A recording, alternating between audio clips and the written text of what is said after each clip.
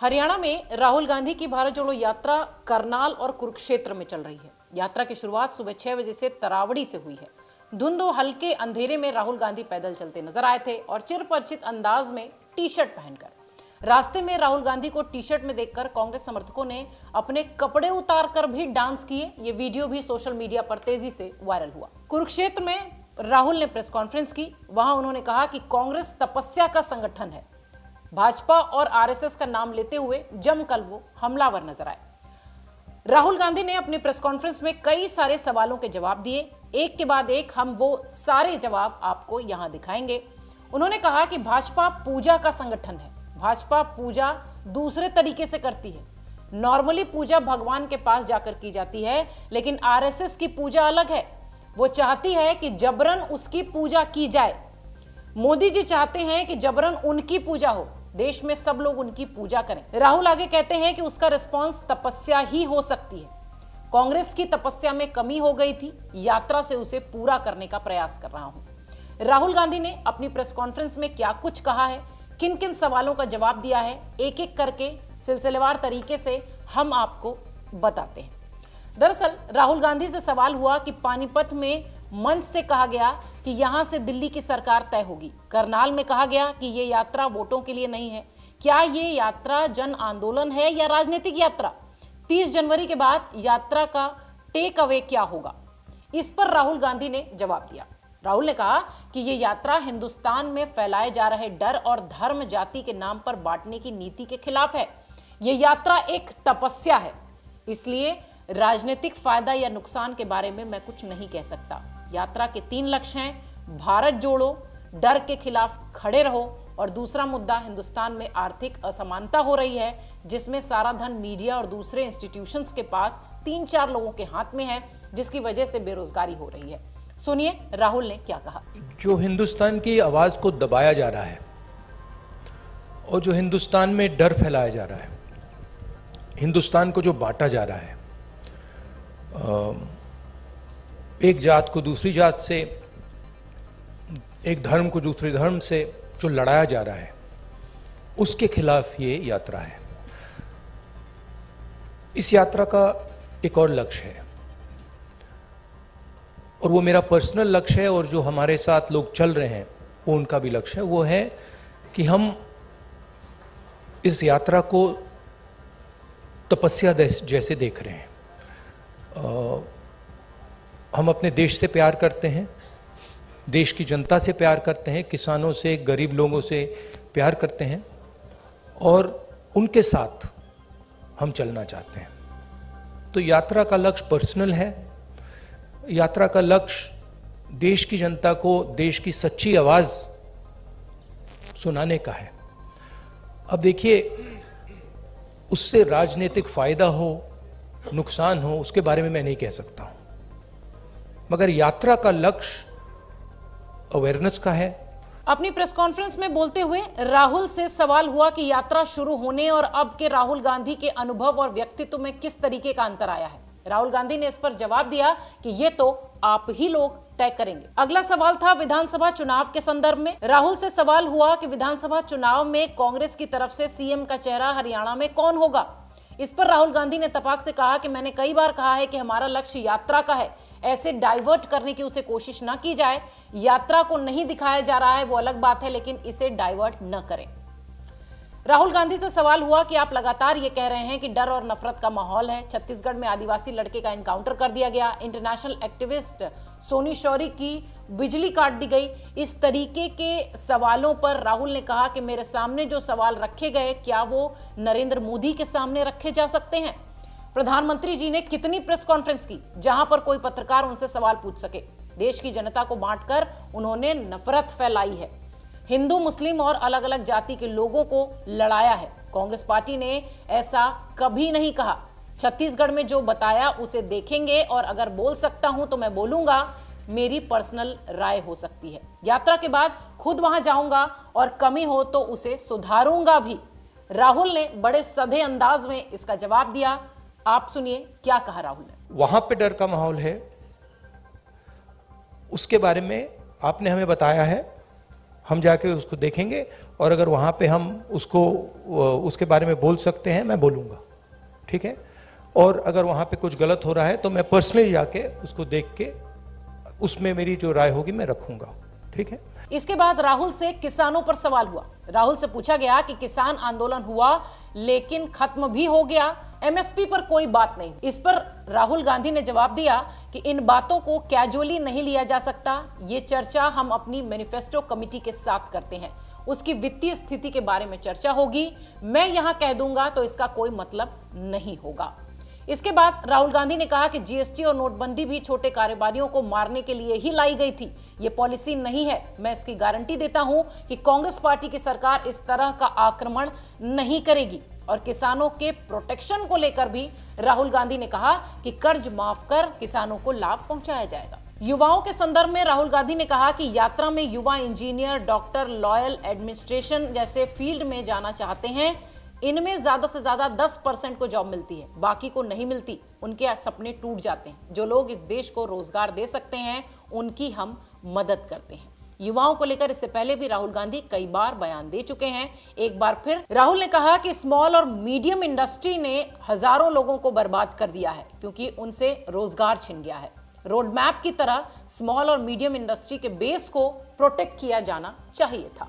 रोज़गार कहाँ से आएगा? रोज़गार अगर आप सेकंड ग्रीन रेवोल्यूशन करोगे एग्रीकल्चर को ट्रांसफॉर्म करोगे फ़ूड प्रोसेसिंग फैक्ट्रीज के जाल बिछाओगे, रोज़गार वहाँ से आएगा।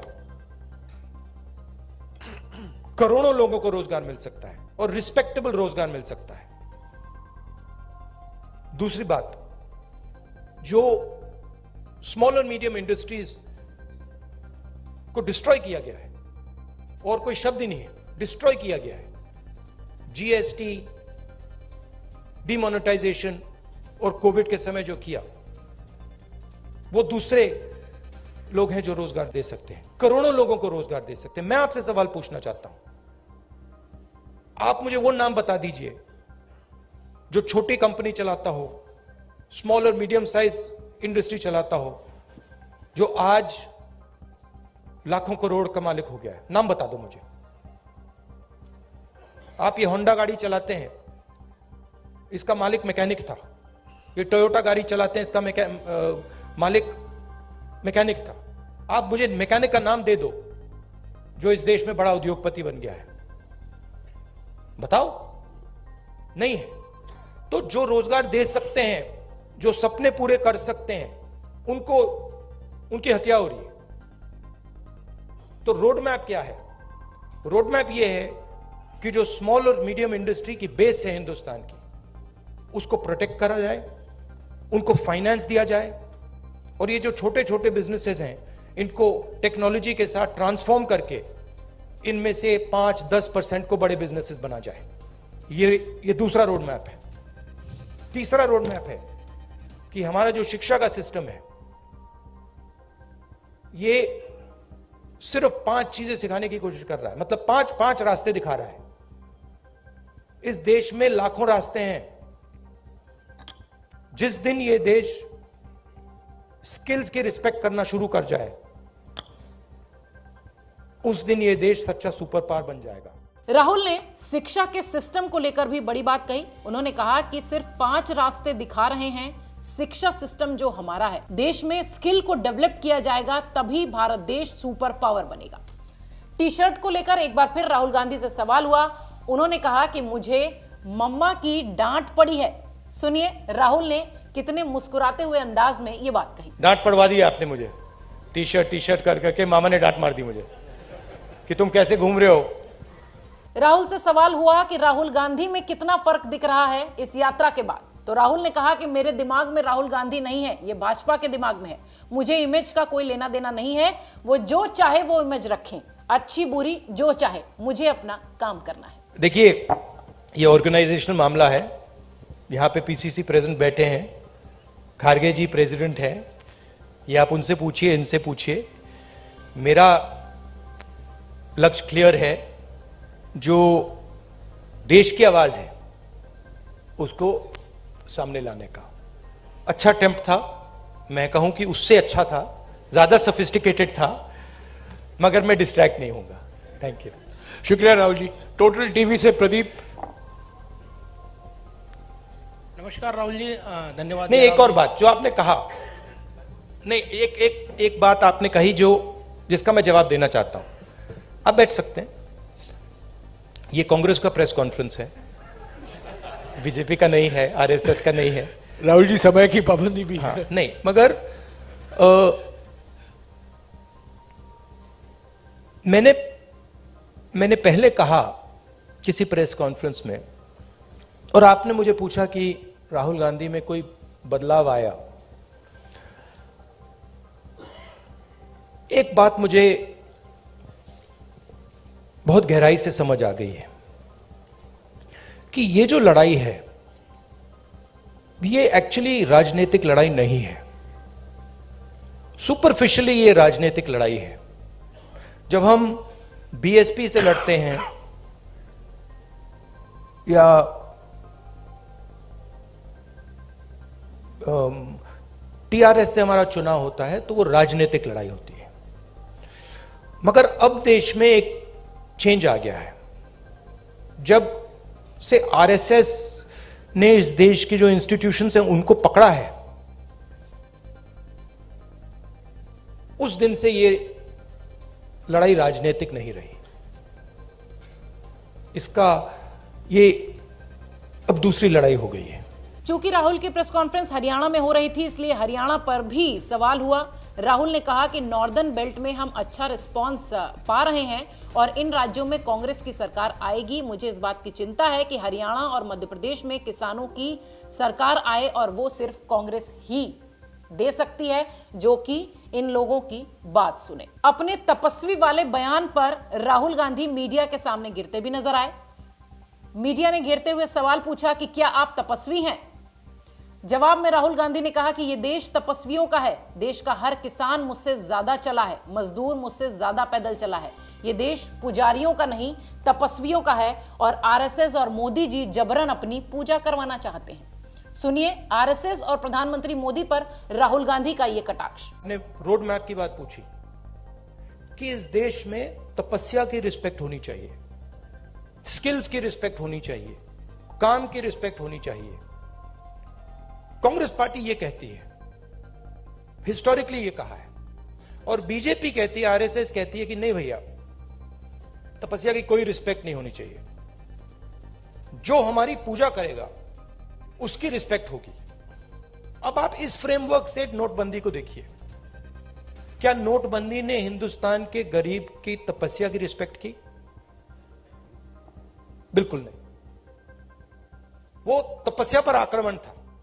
उसका मैसेज था, किसान किसान से, छोटे मजदूर से, छोटे व्यापारी से, भैया, तू जितनी तपस्या करनी है, तू कर ले।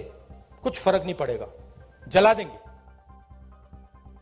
और बीजेपी आरएसएस इस देश को फोर्स्ड पूजा की ओर ले जा रही है। धन का प्रयोग करके इंस्टीट्यूशंस को कैप्चर करके, लोगों को डरा के, आप लोगों को डरा के। वो आपसे कह रहे हैं, भैया, तपस्या मत करो। आपसे कह रहे हैं, आपकी जो तपस्या है, जो सच्चाई मतलब आपको अपने टेलीविज़न स्क्रीन पे डालनी है, वो मत करो। मार देंगे। हमारी पूजा करो। इसलिए प्रधानमंत्री जी आपके सामने नहीं आ सकते। क्योंकि उसमें आपकी तपस्या की झलक दिख, दिख जाएगी। कहीं ना कहीं से कोई सवाल पूछ जाएगा। तो ये लड़ाई है पूजा और तपस्या के बीच में। हमारा संगठन तपस्या का है। और अगर हमारे संगठन में कमी है तो तपस्या की कमी थी। और उस यात्रा ने इसको क्लियर कर दिया है कि यह तपस्या का संगठन है। वो पूजा का संगठन है। उनका वो काम है। हमारा ये काम है। राहुल की यात्रा इन दिनों हरियाणा में चल रही है। रास्ते में राहुल गांधी सड़क किनारे खड़े लोगों से बातचीत करते भी नज़र आए। बुलाकर लोगों से बातचीत भी की। बच्चों को टॉफी देते भी दिखे। इससे पहले राहुल ने अपने सुरक्षा घेरे में एक युवक जो घुस रहा था, जिसे पुलिस ने धक्का देकर बाहर किया था, उससे भी बातचीत की। इस यात्रा में उनके साथ केसी वेणुगोपाल, भूपेंद्र हुड्डा, कुमारी शैलजा और दीपेंद्र हुड्डा भी दिख रहे हैं। हरियाणा में राहुल की ये दोबारा एंट्री है, क्योंकि जब वो दिल्ली आ रहे थे तो हरियाणा होते हुए, फरीदाबाद होते हुए आए थे। यहाँ यात्रा सुबह आठ बजे रायपुर रोणान स्थित एक ढाबा पर टी ब्रेक के दौरान भी रुकी थी, जहाँ पर राहुल गांधी चाय पीते भी दिखाई दिए और लोगों से बातचीत करते भी दिखाई दिए। अब देखना यह है कि राहुल की यात्रा हरियाणा से जब पंजाब की ओर जाती है तो किस तरीके का रुख होता है। यहाँ से सीधे राहुल गांधी अब कुरुक्षेत्र की ओर रवाना होंगे और शाम छह बजे राहुल गांधी कुरुक्षेत्र में ब्रह्म सरोवर की जो महाआरती है, उसमें हिस्सा लेने वाले हैं। ब्रह्म सरोवर में आरती करने के पश्चात राहुल गांधी जिंदल हाउस में रात में विश्राम करेंगे। और आपको बता दें कि हरियाणा के अंबाला में 9 जनवरी, यानी कल भी राहुल की यात्रा रहने वाली है। 9 जनवरी को सुबह छह बजे से फिर से यात्रा शुरू होगी। गाँव खानपुर से ये यात्रा शुरू की जाएगी और 10 बजे के आसपास ये शाहबाद के पीडब्ल्यू रेस्ट हाउस तक पहुँचने वाली है। तीन बजे पट्टी बोरीपुर से यात्रा फिर से शुरू होगी और शाम छह बजे अंबाला के मोहाड़ी मंदिर में आकर ये रुकेगी। यहाँ यात्रा का रुख अंबाला कैंट की अनाज मंडी की ओर होगा और यहीं रात्रि विश्राम की भी व्यवस्था राहुल की की गई है। इसके बाद राहुल गांधी पंजाब का रुख करेंगे।